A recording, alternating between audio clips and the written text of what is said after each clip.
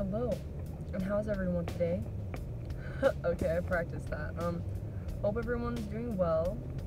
I just wanted to express my thoughts a little bit on this thing we call life. We call life. So faith. All right. I used to think I had a problem with faith, but I was reading uh, Confessions by Leo Tolstoy, and it said he was saying that faith is in everyone or we wouldn't be alive. And I'm like, hey, that's actually a pretty good way of putting it. putting it. Um, if we didn't have faith in life, we wouldn't have a reason to live because faith is what knowing that you have a purpose in life and just defining what that is. And each of us do that in our own way. And whatever works for you, works for you. Don't let anyone tell you whatever you are doing is not okay in life. And that is usually when we all feel like bad things are happening. You know, we feel like, oh, my life's terrible. Why? You know, when you think about it and you're really like, I thought I was doing good. Everything's fine, you know? and you are doing great.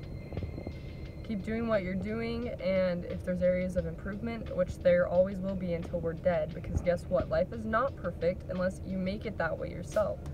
It's all up to you and yeah, just make sure you're being happy and not happy if that's not okay for you. Like if you want to be miserable and sad, that's okay. And some of us can't help it.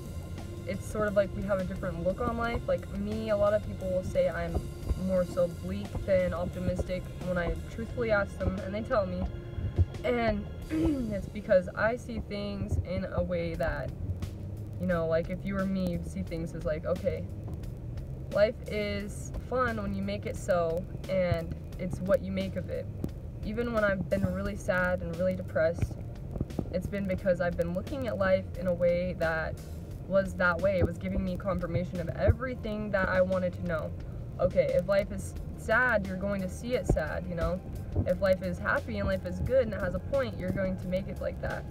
And same thing if you're not. If you're just depressed and you're sad, like, I'm sorry, I hope things get better. They will. They, you know, I say, oh, they always say it gets better, and it's like I read that when I was sad, and I thought, oh, of course not. But being on the other side of that comment, you could actually, it's true. like, you got to just make it like that, and it takes more effort for some of us, unfortunately. But at least we're alive and breathing, and as long as we are doing that, we can make life anything we want it to be.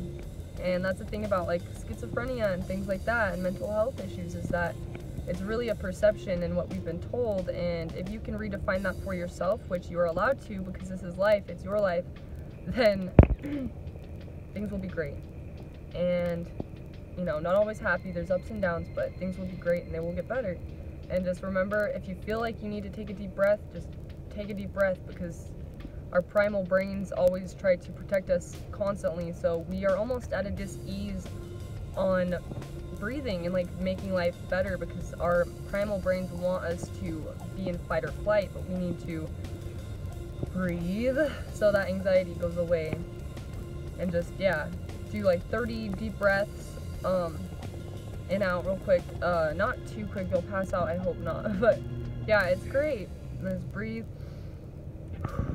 And then